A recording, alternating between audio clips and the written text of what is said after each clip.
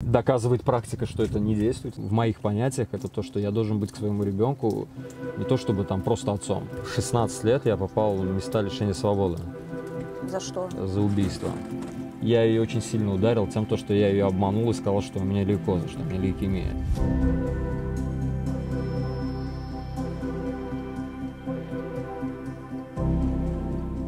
А, я Лиза из ролика «Солевая мама». Сегодняшнее интервью с Вадимом проведу я, потому что так сложилось, что сегодня мой последний день э, реабилитации, а у него первый.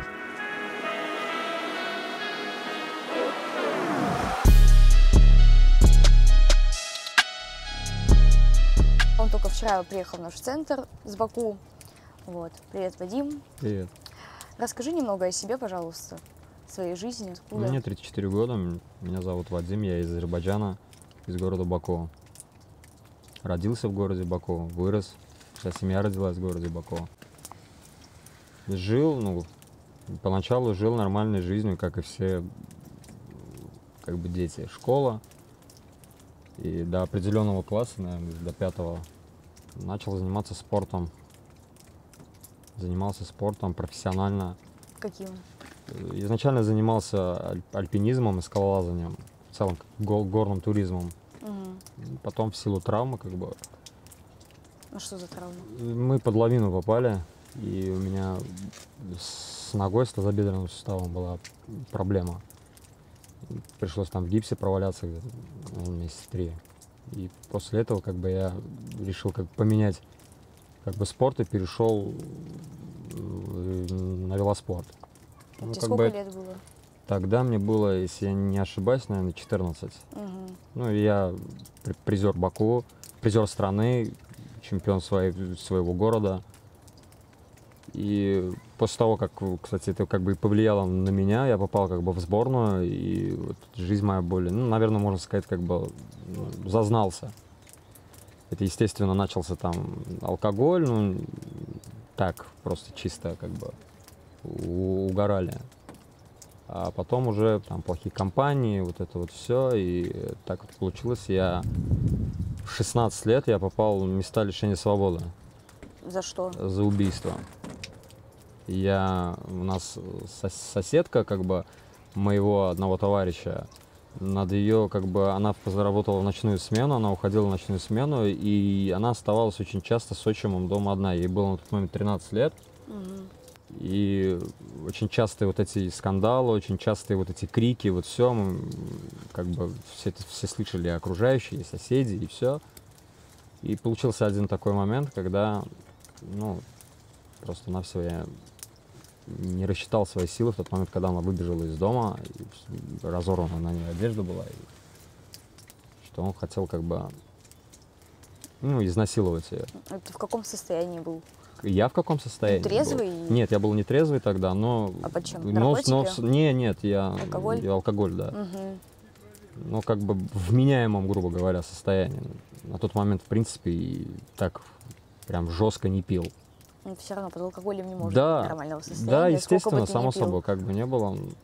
Не знаю, если сейчас задать мне вопрос, вообще, в принципе, переосмыслить свою жизнь заново, поступил бы я бы так же или нет, я, может быть, задумаюсь и найду какой-нибудь там другой выход в этой ситуации. В тот момент, как бы, я не справился с этим и не рассчитал свои силы. Да, изначально я страдал алкоголизмом. У меня как бы была первая стадия алкоголизма, когда я, ну, как принято, общепринято такое выражение и мнение о том, то, что ну, пил как все нормальные люди.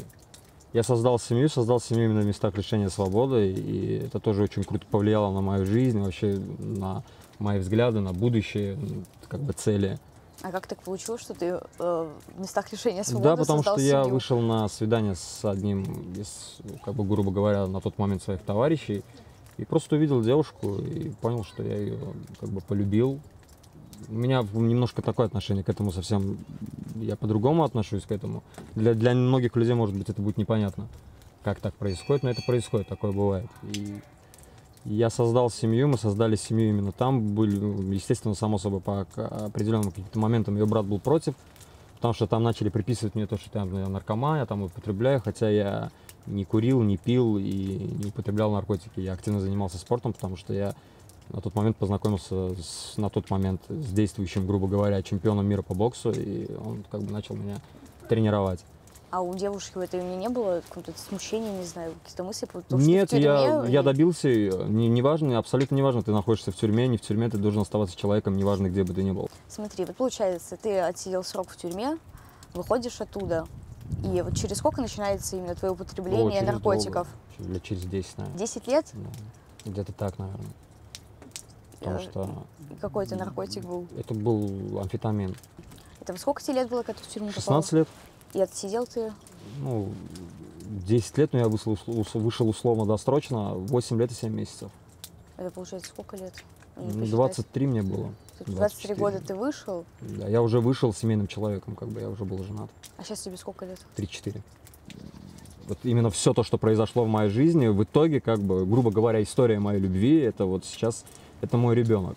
Ну, ты смотри, Ну, у тебя есть ребенок, но ты все равно употреблял. В момент употребления тебя никак уже не волновал твой Так, ребенок? на тот момент я просто в силу своей аназагнозии и в силу вот этих своих психозащит, конечно, меня... Я, естественно, был нормальным человеком, я, естественно, себя не выделял из общества, хотя я там был до, до безобразия ужасно выглядел. В каком плане? Я очень сильно похудел.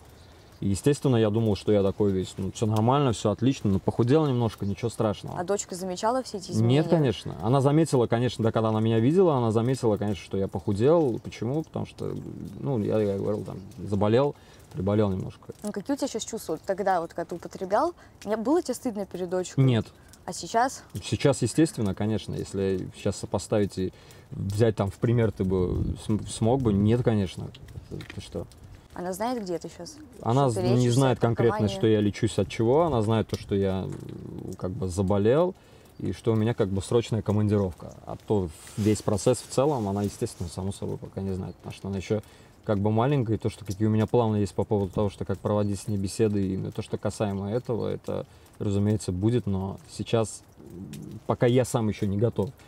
И я, естественно, знаю, какие моменты, как со своим ребенком разговаривать, как подвести ее там к какой-то теме, как ей это объяснить. Потому что, в принципе, как бы в моих понятиях это то, что я должен быть к своему ребенку не то чтобы там просто отцом. Я должен быть ей всем, и другом, и отцом, и всем то, что... Первая моя цель, самое главное, чтобы мой ребенок меня не стеснялся ни в чем. Чтобы он мог со мной как бы поделиться, чтобы он мог со мной так открыться мне даже в самых таких вещах, которые для нее будут казаться там, я не знаю. У меня тоже есть дочь, ей два с половиной года. А, Я, когда употребляла, типа, у меня был перерыв, был, у меня, у меня муж, короче, есть. Мне его посадили год назад, полтора. Вот, я тогда завязала употреблять на полгода. Но дочке на тот момент год был. Потом я снова вернулась в употребление, ей уже было полтора. И я, короче, бросила ее на маму свою, ушла из дома, и вот мы с ней полтора года уже не видимся. Вообще, типа, на нее забила. На самом деле это очень, я считаю, херово. Раньше, типа, до меня не было этого понимания, типа, ну что, ну ее воспитает моя мама. Я думала так, типа, я ей не нужна. Зачем ей такая мама, как я? Сейчас у меня понимание уже совсем другое, типа, то, что мама ей нужна настоящая, то есть я. И отпечаток, ну, это на самом деле плохое, если поскольку у нее папа в тюрьме наркоман, мама высшая наркоманка, у нее, типа, не было родительской любви. Конечно, нужно восстанавливать с ней отношения такие материнские, как это, семейные.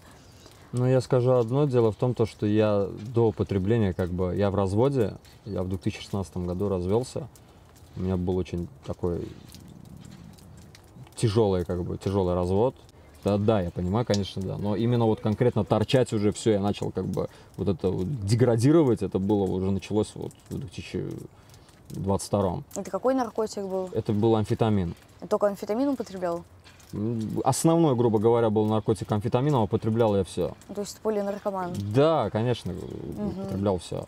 Кроме, ну, не кололся, да, то, что можно было глотать, курить, нюхать, как бы вот э, такого рода наркотики. А привело меня к этому именно алкоголизм, потому что после развода я очень тяжело переживал развод, и я как бы с первой стадии своего алкоголизма у меня толерантность произошла просто, я не знаю, максимально реактивно. Я полностью как бы перешел как бы сразу мгновенно на вторую стадию, начались запои, началось то вот это вот. Меня никто не понимает, ни родители, никто, и в смысле, я просто не жил, я просто суще- существовал.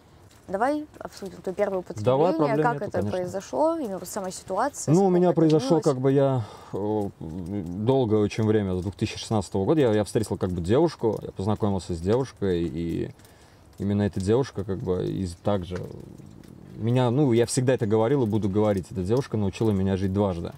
Она внесла в мою жизнь, и я при- пришла, то есть, в мою жизнь, и я понял, что, ну, вот надо как-то вот все, пора там завязывать, там все, там запоями, там пить, там то, пятое. И она мне, она такого плана человек, она види- видела, вид- видела меня совсем, э, то есть видела во мне то, что вот я и хотел, чтобы во мне видел человек, тот, который со мной пойдет по жизни, я имею в виду. Она этого видела, и всегда она поддерживала меня в любых там каких-то начинаниях. Она помогла мне, например, там, она говорит, ну что ты хочешь там, как тебе помочь, в чем тебе помочь, развиваться, что ты делать. Ну, на тот момент я хотел себе машину, я хотел себе права, я хотел как бы начать работать вот в этой сфере. Все, окончательно закончил там с бухлом, со всем этим. Появилась машина, начал работать, и где-то около трех месяцев, я уже точно не помню, да, и опять-таки, ну и все это сейчас в силу того, что я понимаю, я просто гнал вот это, ну, терпел, гнал тягу о том, то, что там я там терпел, не пил.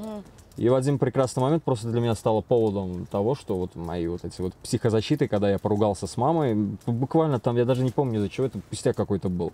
Мы поругались с ней, все, у меня включилось, там все, там, надо выпить. Я там подсобрал там немножко денег, там все туда-сюда, и, естественно, само собой, выпил, и пошло-поехало. Это минимум неделя.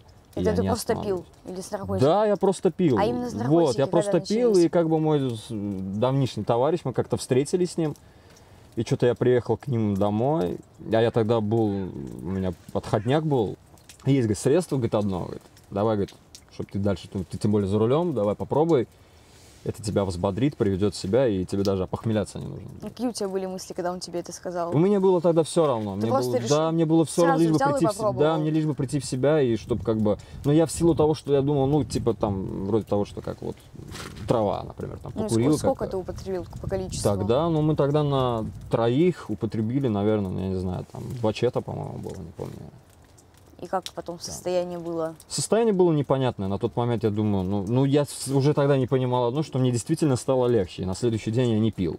Угу. И я, как бы, грубо говоря, сначала не понял, и потом вот, вот, вот эти вот психозащиты, мол, типа того, что ты не понял, да вроде, походу, ничего такого нету, можешь еще попробовать, может, все-таки почувствовать что-то, что это такое. То есть было Ну, желание еще раз, да, да, то есть еще раз, еще раз, еще раз, и потом я как бы чередовал, там, типа, ну, это ничего такого не дает, потом начал уже курить траву, уже систематически, уже постоянно, Мгм. как бы уже искал, как бы, где, как, что а практически каждый день. вот каждый день. Прям вот каждый? Да, каждый день. Все наркотики? Не, там не все наркотики, траву. Что? А, именно траву. А потом, уже, Амфетамин? а потом уже начал совмещать амфетамин, как бы мне Тоже сказали. каждый день? э, Да.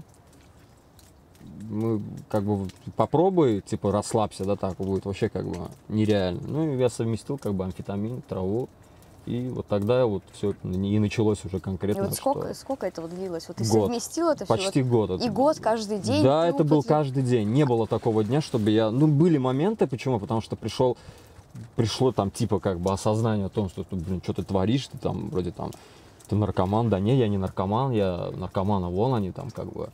Ну, опять-таки, это ана- аназагнозия, это, как Да. говорится, не отсутствие полной самокритики в том плане там, ну, направления, как бы я имею в виду наркомании, употребления. Это вот самый главный момент. Я не жил дома. А мы где? как бы это, ну, то- потому что мы с мамой поругались из-за этого. вот Ну, это Она всё, знала, там. что употребляешь? Нет, нет, она пока еще не знала. Она знала тогда на почве того, что я там пил. Она как бы этого не, не воспринимала никак.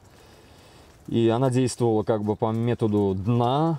На тот момент она не знала, вообще не знакома была с программой. Для нее это как бы метод дна, это был... Ну, ей это прям вот внедрили в том, то, что вы, выгонить, выгнать, выгнать меня, и там ко мне придет осознание. Доказывает практика, что это не действует. Ну, опять-таки, даже если она вы- выгоняла меня, когда я не жил дома, она всегда интересовалась мной. Там, где я, что я, что со мной. Ну, Мгм. так не именно у меня, а там, где я бывал, потому что у нас поселок маленький, и там практически все друг друга знают. А на тот момент с моим делом, оно было очень громкое дело, и очень много людей как бы узнали мою семью, мою маму, и она узнавала там, где я, что я, как, как я вообще живу, живой я, не живой. Мгм.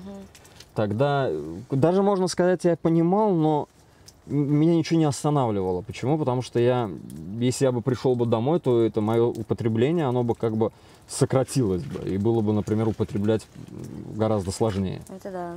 А вот первое мое вот это ощущение, когда я пон- понял, что из себя представляет вообще в принципе амфетамин, это когда у меня в разуме включ- включился, внутри меня включился голос, мой же голос. Ты голоса уже слышал?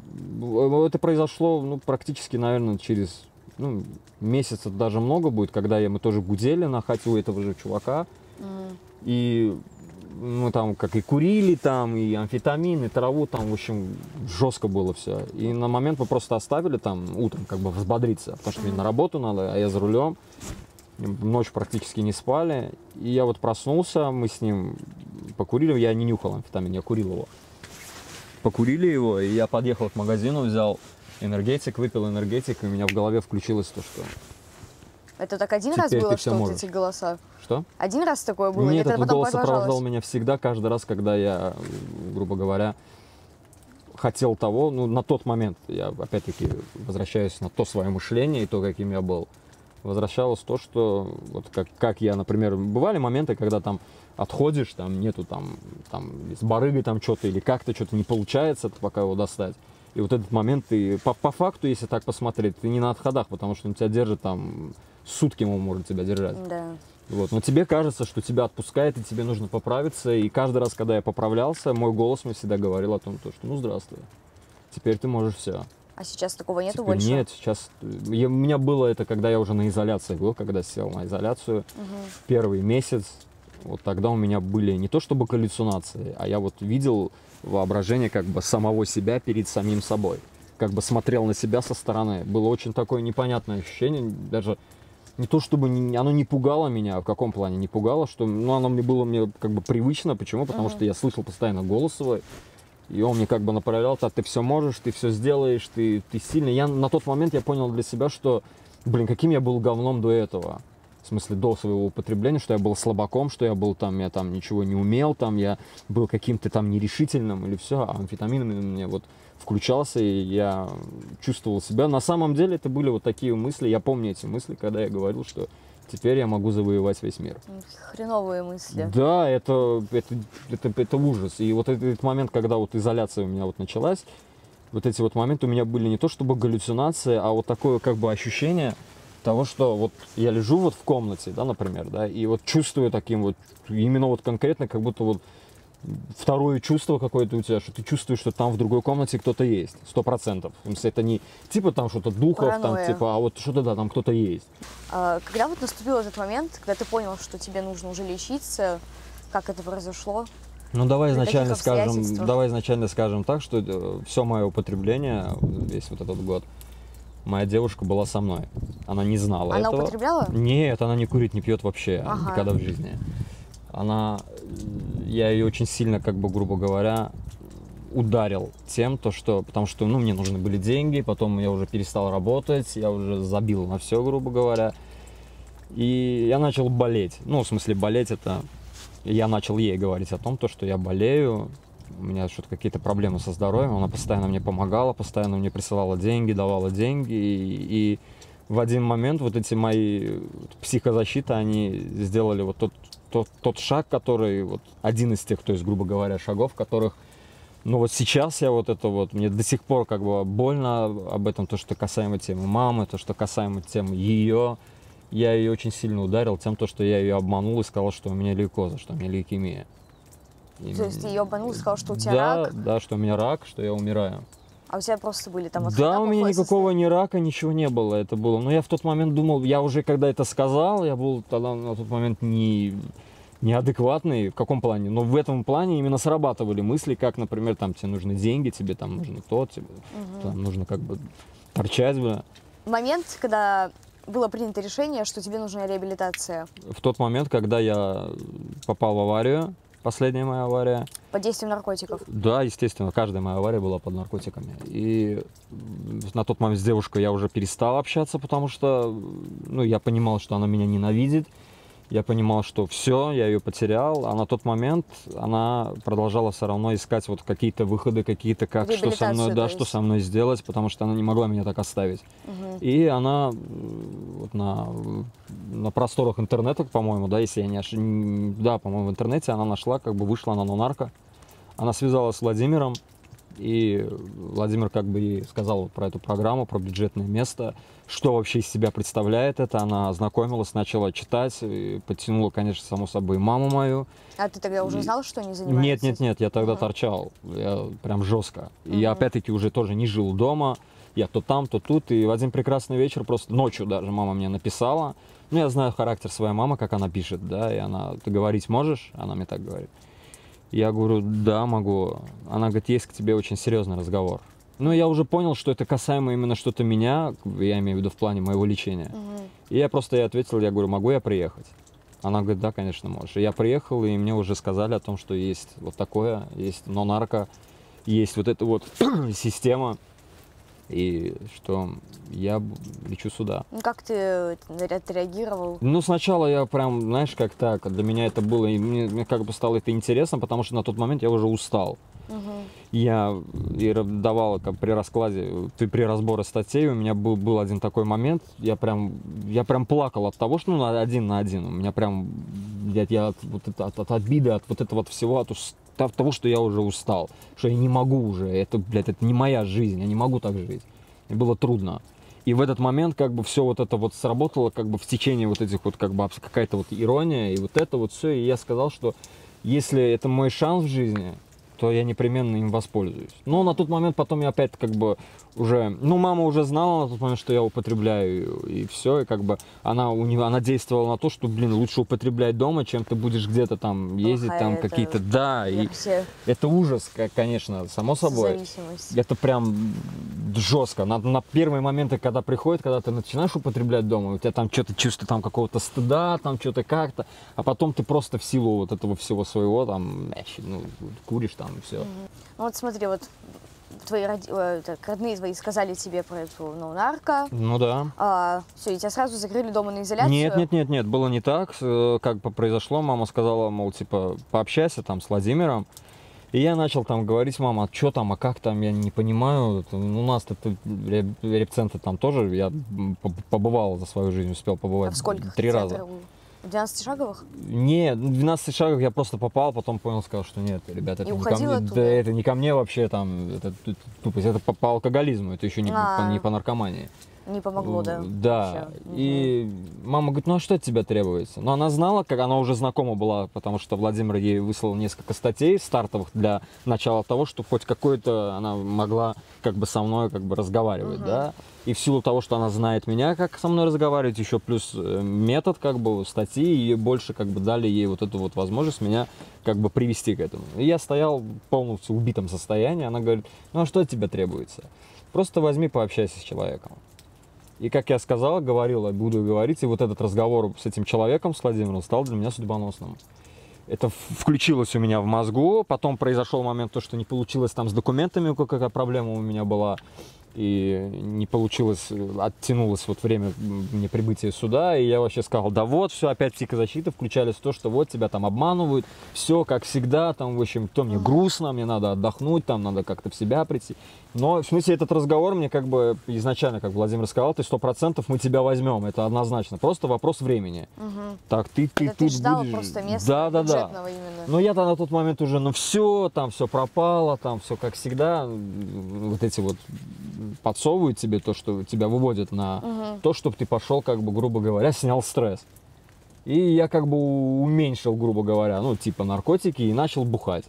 Мгм. Начал пить. Сначала Это- начал пить это нормально. изоляция уже была? Нет, это типа я приезжал на изоляцию, там на неделю зашел домой, там типа, а, ну все, все, все, хорошо, все, я там туда-сюда, ну там, ну там пиво выпью там или еще что-то так, просто чисто, ну как мы сами сейчас уже знакомившись, знакомившись с программой, я уже понял, что это, конечно, само собой, это все было, э, это все просто, блядь, психозащита и самообман самого себя. И я пил, неделю, например, дома был, потом уходил, там 3-4 дня запоя, опять возвращался домой, опять приходил в себя, опять уходил. Так было, м, не знаю, наверное, около порядка, наверное, месяц-полтора, наверное, вот так я бегал туда-сюда. А почему у тебя бюджетное место? С чем это связано? Ну, естественно, само собой, с финансами. Если бы была бы возможность, как бы, грубо говоря, у моих близких сделать это как бы не так, э, в смысле, я бы по-любому был бы здесь, э, уже даже не ждал бы, как бы, грубо говоря, бюджетного места. Как проходила Давай. твоя изоляция? Вот именно как проходил твой день, чем ты занимался, что в доме происходило? Ну, честно сказать, ну, лень была э, в основном. Ну, поначалу, естественно, само собой, меня как бы не трогали, дали моменты как бы от- отсыпаться, прийти в себя после вот это, это проходило сколько вот где-то где-то Вот месяц, сколько наверное, отсыпал? даже может больше, да. просто, да? Не, не спал. вот Ну, именно что я не отдыхал. спал, у меня вот месяц я сон я мог по двое суток не спать. А вот уже после э, там где-то месяц, вот так, я уже начал, у меня пришел ко мне, пришел сон, я конкретно вот не мог, вот только спал, спал, спал. А из дома И- ты никуда не выходил? Нет, нет, нет, абсолютно, я был закрыт. У меня, я были? полностью, я пришел домой в один момент, отдал все телефон, отдал все свои связи, все, я сам лично поменял дома замок, чтобы как бы, когда мама, например, там уходила по работе или в магазин или куда-то, она закрывала меня полностью, все, у меня дома как бы решетки, э, у меня двухэтажный дом, на втором этаже как бы был, у нас решетки, и в принципе, у меня бы не было и мысли того, что, например, да, я там уйду. Ну а вдруг? Я как Ну бы да. себя, сам, сам себя как бы я не доверял, не верил себе. Поэтому я как бы ограничил, ограничил себя полностью. Даже мама, когда уходила, я ей даже напоминал, там, не забудь дверь закрыть, не забудь все вот это вот, как бы вот так. А Через сколько вот ты начал так. читать статьи, писать изложения, вот это на форуме работать? Честно говоря, по, по датам, если посмотреть, наверное, сразу практически, практически сразу. Ты, ты отоспался?